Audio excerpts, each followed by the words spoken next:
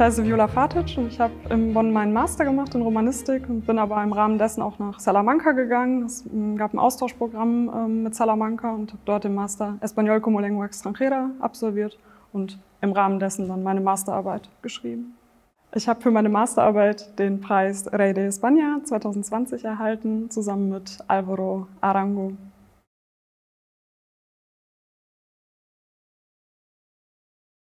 Ich habe im Rahmen meiner Masterarbeit eine Eye-Tracking-Studie durchgeführt zum Leseverständnis im Spanischen und Deutschen und habe dabei mir die Wortschatzkompetenz spanischer und deutscher Sprecher angeschaut.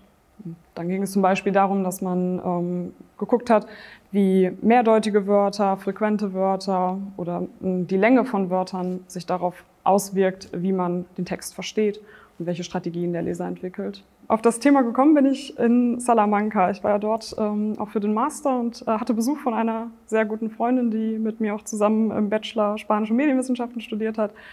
Und wir saßen in einem der vielen schönen Cafés dort und haben ein bisschen philosophiert, was man vielleicht thematisch machen könnte. Und da hatte sie erzählt, dass die Medienwissenschaften doch einen Eye-Tracker hätten, ob man da nicht vielleicht in die Richtung gehen könnte. Dann sind wir bisschen über Umwege, über das Hörverständnis dann aufs Leseverständnis gekommen. Und äh, ja, die Idee hatte mich dann recht schnell gecatcht und dann habe ich mich auch vielleicht etwas blauäugig, aber ähm, doch recht schnell da reingestürzt.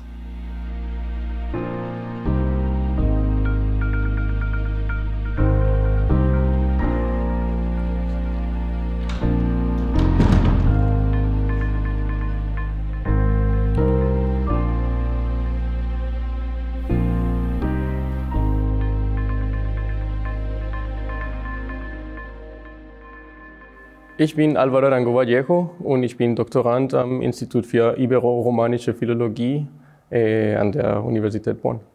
Ich bin Preisträger des Premio Rey de España 2020 zusammen mit meiner Kommilitonin Frau Fatic.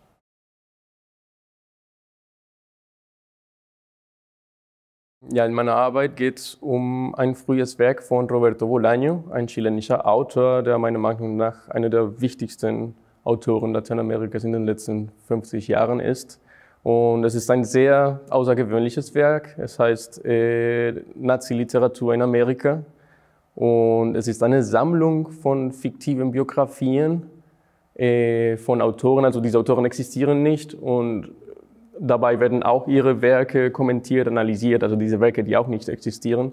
Und dazu kommt, dass alle diese Autoren auf irgendeine Art und Weise Assoziationen zum Faschismus oder zu faschistischen, nationalistischen Bewegungen in Amerika oder sogar Diktaturen in Amerika haben. Und die Hauptthese der Arbeit ist, dass Bolaño sich diesen sehr absur fast absurden Rahmen, diesen sehr komischen Rahmen ähm, bewusst überlegt, als eine Art literarisches Spielfeld, äh, in dem er als ein junger Autor, der gerade angefangen hatte, Prosatexte zu schreiben, äh, sehr komplexe Sachverhalte in Amerika, in, ja, für Amerika in den 20. Jahrhundert literarisch erforschen kann, auf eine Art und Weise, die etwas leichter oder verspielter ist.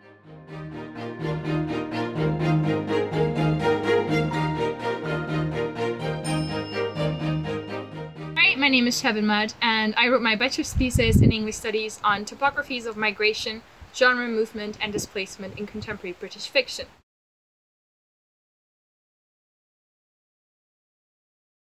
Die Kernthese meiner Bachelorarbeit ist, dass in der zeitgenössischen Migrationsliteratur räumliche und örtliche Strukturen einen fragmentarischen, antiessentialistischen und vor allem aber auch virtuellen Charakter annehmen. Ziel meiner Arbeit war es zu zeigen, dass solche literarischen Repräsentationen von Räumlichkeit zumindest das Potenzial haben, bestehende koloniale Raumkonzeptionen zu invertieren und zu brechen.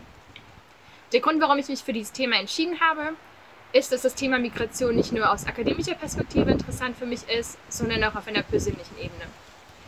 Ähm, ich habe auf jeden Fall wertgeschätzt, dass es oft vorkam, dass ich Momente hatte beim Schreiben und beim Recherchieren, dass ich Begriffe kennengelernt habe, ähm, die mir nicht nur beim Schreiben der wissenschaftlichen Arbeit weitergeholfen haben, sondern mich auch selbst hinterfragen lassen haben, wie meine eigenen Migrationserfahrungen ähm, im Verhältnis stehen zu Begriffen wie Raum, Distanz und Nation.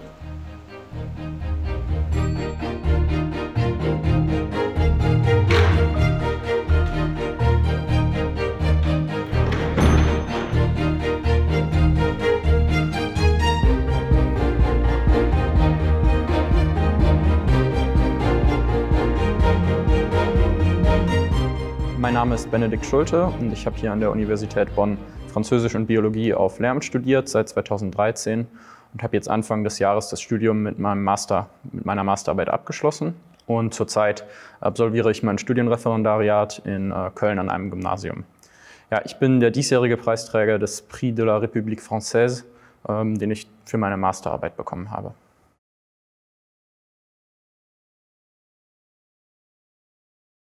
Meine Masterarbeit habe ich über den Roman Madame Bovary von dem französischen Schriftsteller Gustave Flaubert geschrieben. Und äh, im Detail habe ich dort die Charakterisierung und die Identitätskonstruktion wichtiger Romanfiguren untersucht. Innerhalb eines Studiums der französischen Literaturwissenschaft ist es eigentlich selbstverständlich, dass man auch irgendwann auf den Roman Madame Bovary oder zumindest auf den Autoren Gustave Flaubert, der ja aber heutzutage eigentlich äh, vor allen Dingen mit diesem Roman in Verbindung gebracht wird, trifft, äh, sei es in einer Grundlagenveranstaltung oder in einem fortführenden Seminar. Und so habe auch ich angefangen, mich mit dem Roman auseinanderzusetzen und auch speziell dazu äh, ein Seminar belegt. Ähm, und im Anschluss an dieser Seminararbeit habe ich mich dann dazu entschieden, auch tatsächlich meine Masterarbeit zu diesem Roman zu verfassen, zu einer anderen Fragestellung natürlich, ähm, weil ich diesen Roman unglaublich interessant finde. Ich habe den Eindruck, äh, dass eigentlich viel, was darin vorkommt und viel, ähm, viele Aspekte des Diskurses von damals und heute, die, die oder der über diesen Roman geführt wird, auch äh, eine ziemliche Aktualität für ja, die heutige, heutige Gesellschaft aufweist. Und zum anderen, das äh, muss man auch noch hinzufügen, finde ich auch die, die psychologische Art und Weise, in der die Hauptfigur Emma Bovary dargestellt wird, ähm, sehr interessant und wie sie mit den äh, im Prinzip statusgeleiteten äh, Ansprüchen ihrer Gesellschaft und an sich selbst äh, umgeht, das, das könnte nicht aktueller sein in unserer heutigen Gesellschaft.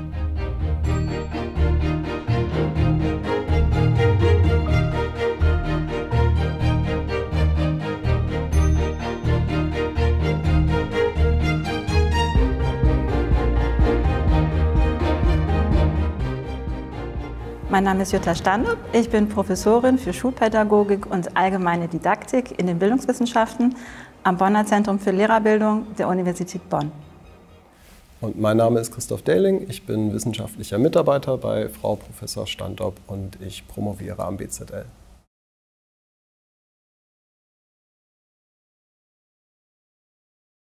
Uns ging es darum, ähm, die, das Theorie- und Praxisverhältnis der Lehrerbildung ähm, enger miteinander zu verzahnen und gerade auch schon in der ersten Phase der Lehramtsausbildung. Das war unser Hauptziel. Ein weiteres wichtiges Ziel für uns war, digitale Lernformen im Lehramtsstudium schon einzuführen, um die Studierenden ja, besser vertraut zu machen mit digitalen Medien, wie man damit arbeitet, ein, ein besseres Verständnis dafür zu entwickeln. Und ähm, da war ein besonders innovativer Ansatz, mit Videofilmen zu arbeiten, die äh, mittlerweile ja sehr viel auch ähm, in Arbeitsformen eingesetzt werden, wo es um die Arbeit, die Zusammenarbeit mit Menschen geht.